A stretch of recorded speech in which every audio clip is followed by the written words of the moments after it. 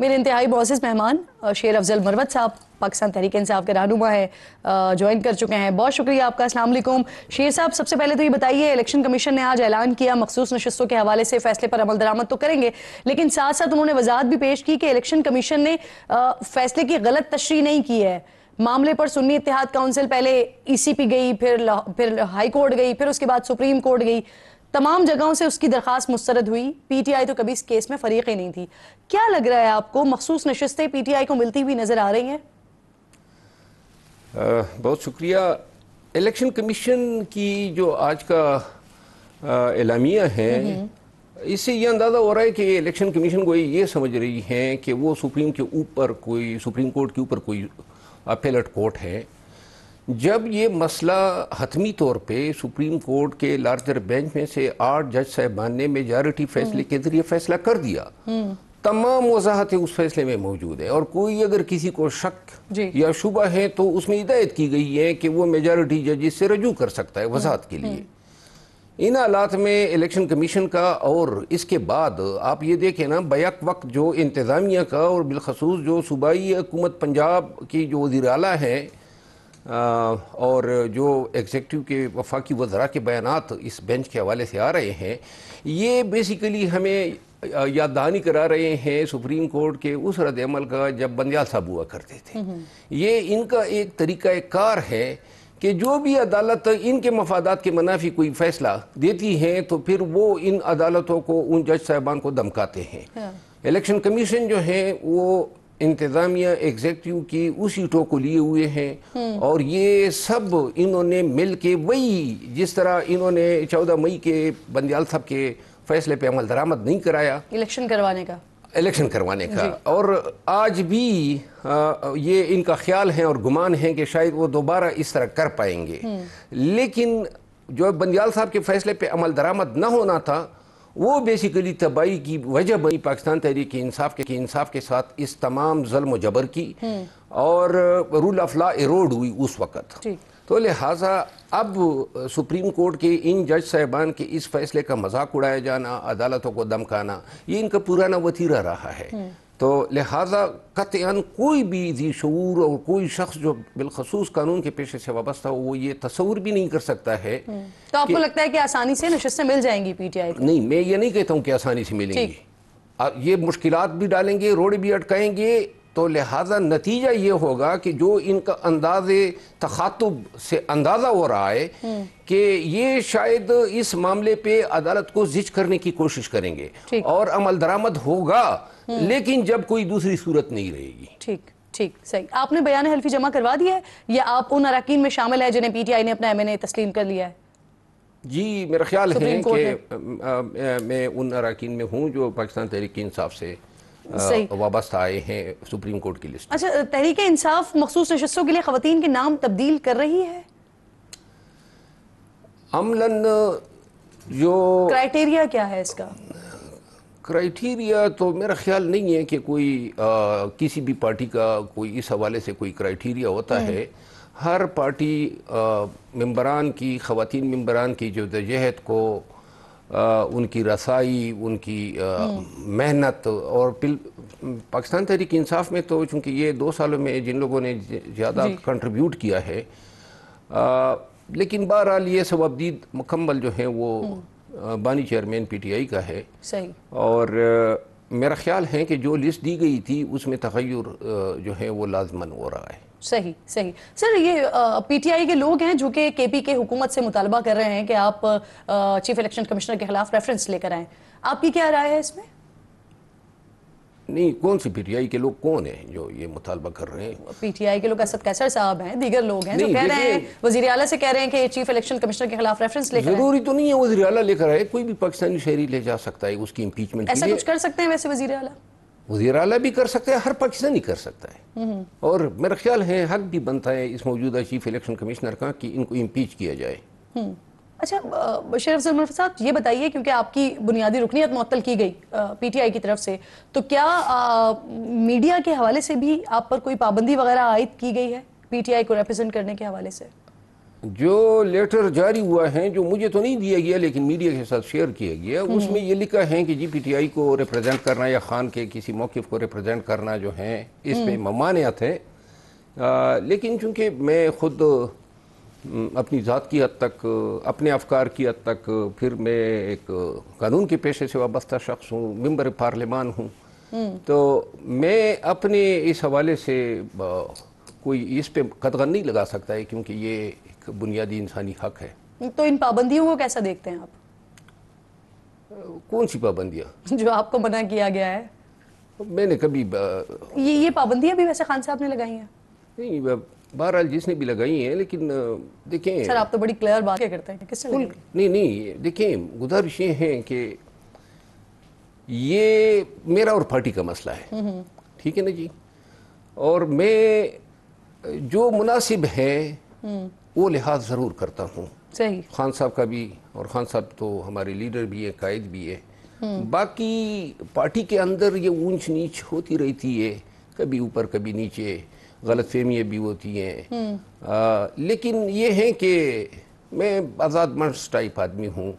अपनी राय हाँ। और जो मैं दुरुस्त समझता हूँ वो मैं ज़रूर बयान फिंच की रिपोर्ट आई, यकीनन आपने देखी होगी। 18 महीने की हुकूमत की बात हो रही है, फिर उसके बाद अगर ये हुकूमत चली जाती है तो उसके बाद भी इलेक्शंस की तरफ़ जाने की बात नहीं हो रही है, बल्कि टेक्नोक्रेट्स की हुकूमत की बात हो रही है। और हुकूमत को इसमें वज़न नज़र आ रहा है। फिर कुछ सरगोशियाँ ऐसी सुनने को मिल रही हैं कि जिसमें 18 जो आठ फरवरी के इलेक्शन हुए, इसके नतज को मनसूख होने की बात हो रही है। आपको वज़न नज़र आता है इसमें, या आपके कानों तक ऐसी सरगोशियाँ पहुँची हैं? सरगोशियाँ तो हैं और पाकिस्तान जैसे मुल्क में ऐसी सरगोशियाँ होती भी हैं और मुतद मौके पर ऐसी सरगोशियाँ जो हैं वो दुरुस्त भी साबित हो हुई हैं। कत नज़र इसके कि आइन में और कानून में आ, ऐसे अमाल व अफ़ाल की कोई गुंजाइश नहीं होती है। अब जिस तरह इलेक्शन की मनसूखी की बात कर रहे हैं अब इलेक्शन मनसूख तो नहीं हो सकते हैं लेकिन जिन इलेक्शंस को चैलेंज किया गया है वो करेक्ट हो सकते हैं। अगर फार्म 47 पे लोगों को जितवाया गया है तो जो अरवाए गए हैं उनको अ, अ, जो है उनका हक दिलाया जा सकता है। इसके लिए इलेक्शन का कराया जाना ज़रूरी नहीं है नंबर वन और नंबर दो जो टेक्नोक्रेट की हुकूमत की बात हुई है आइन में ऐसे कोई गुंजाइश नहीं है। आइन ने बताया हुआ है गरचे आपने देखा आइन का भी तमाशा हुआ सुप्रीम कोर्ट के फैसले के बावजूद भी और आइन पर आइन के मैंडेट के बावजूद जो है इलेक्शन जो है वो मुकर्रम याद में न कराए गए। और जो निगरान हुकूमती थी और उस तस्वीर की उम्मीद आप सुप्रीम कोर्ट से कर रहे हैं। मैं यही अर्ज़ कर रहा हूँ ना। सुप्रीम कोर्ट जो है मेरा ख्याल है कि आने वाले वक्त में सुप्रीम कोर्ट की माहियत बहुत बेहतर हो जाएगी। अ, सर अ, फिंच फिंच की जो रिपोर्ट आई है और जो आप कह रहे हैं जो दीगर बात आप कर रहे हैं तो क्या इसके लिए आप बाकायदा तौर पर सुप्रीम कोर्ट में दरखास्त भी लेके जाएँगे? नहीं सुप्रीम कोर्ट में तो पहले से हमने ये फॉर्म 47 की हुकूमत और इनके इलेक्शन को चैलेंज किया हुआ है। सबसे अहम मुकदमा सुप्रीम कोर्ट में इस वक्त जो जेर अल्तवा हैं और जिसकी समात दरकार है वो इन इलेक्शन की स्क्रूटनी का है या इलेक्शन जो 2024 की हुए हैं उनके ऑडिट का है। सही। और जिस दिन सुप्रीम कोर्ट ने यह टेकअप किया उसके लिए कोई ज़्यादा ज़ोर ज़बर की ज़रूरत नहीं है ना कोई इतना ज़्यादा फिज़िक्स की कोई इसमें फार्मूले इन्वॉल्व हैं। फार्म 47 पे जीते गए जो लोग हैं उन्होंने अपने नतज दिखाने हैं। ठीक। और नतज उनके पास है नहीं। सर फिच की रिपोर्ट के मुताबिक अगर टेक्नोक्रेट्स की हुकूमत आ जाती है तो ठीक है ये पीटीआई के लिए खुशी का सबब होगा लेकिन आपको नहीं लगता कि इससे फ़ायदे से ज़्यादा नुकसान होगा? ये जाएँगे टेक्नोक्रेट्स आ जाएँगे तो वो जो सियासी स्पेस है वो खत्म हो जाएगी। तो आप लोग तो जीत कर भी हार जाएँगे। नहीं पीटीआई के लिए क्यों खुशी का सबब होगा? पीटीआई कभी ये चाहती ही नहीं है कि कोई अल्ट्रा कॉन्स्टिट्यूशनल मेजर्स हो। पीटीआई तो हमारा तो मुतालबा है कि जो आइन और कानून कहता है वही हो। और इसी वजह से आठ फरवरी का जो मैंडेट चोरी हुआ इसको हमने मजाज अदालतों में चैलेंज किया हुआ है। आप देख रहे हैं पूरी कौम देख रही है कि इसको ताखीर देने के लिए ट्रिब्यूनल जो है इनका ड्रामा रचाया गया। और चीफ इलेक्शन कमिश्नर उस दिन भी लाहौर हाई कोर्ट के चीफ जस्टिस साहिबा के पास गए थे। हम कभी नहीं ये चाहते हैं कि कोई टेक्नोक्रेट आए और ये हकूमत रुख्सत हो। हम तो ये चाहते हैं कि जिसकी हुकूमत बनती है कानून और आइन के मुताबिक उनको हवाले करे। फार्म 47 का ये ड्रामा ना रचाया जाता तो दो तहाई अक्सरियत है हमारी। और उस दो तहाई अक्सरियत की बुनियाद पर अगर ये अनान इकतदार जो हैं वो पी टी आई के हवाले किए जाते। तो ये जो आजकल मुल्क में गैर यकीनी सूरत हाल हैं किसी को जो है उसका हल नज़र नहीं आ रहा है माशी बदतरी जो है बढ़ती जा रही है। इन तमाम चीज़ों की हालात इस नहज पे कभी ना आते। वज़ीर आला पंजाब का आज आपने खिताब सुना होगा आपने आगाज़ में हवाला भी दिया। वो कह रही हैं कि रीराइट करने की कोशिश की गई है आइन को। और अगर मुल्क की तरक्की में किसी में किसी ने रुकावट डालने की कोशिश की तो फिर आइनी हाथों से निपटा जाएगा उनसे। मेरा ख्याल ये है कि जो गुज्त दो साल या ढाई सालों से सुप्रीम कोर्ट और दीगर अदालतों को भी पाकिस्तान मुस्लिम लीग नून जिस अंदाज में धमकियाँ दे रही हैं और तवहीन कर रही है इसका हल अब सुप्रीम कोर्ट को और अदलिया को निकालना चाहिए। ये मोहतरमा जो है फार्म 47 पे वजी अला बनी हुई है। ये पाकिस्तान तहरीक इंसाफ पे पाबंदी की और आर्टिकल सिक्स की बातें कर रहे हैं। आर्टिकल सिक्स तो सबसे पहले इन लोगों पे लगना चाहिए जिन्होंने 9 फरवरी को जो है इलेक्शन चोरी वैसे ये आर्टिकल सिक्स की गद्दारी की और ये पाबंदी की बातें अचानक से क्यों शुरू हो गई हैं?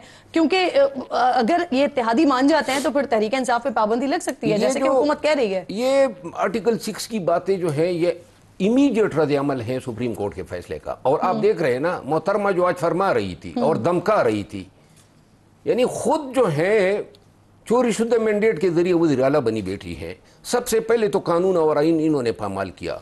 शबाज शरीफ साहब ने पामाल किया, मरकज में सत्रह एम एन एस के साथ हकूमत बनाए बैठे हैं। अगर कोई आर्टिकल सिक्स की कार्रवाई बनती है या आइन की पामाली का केस बनता है तो इन पर बनता है।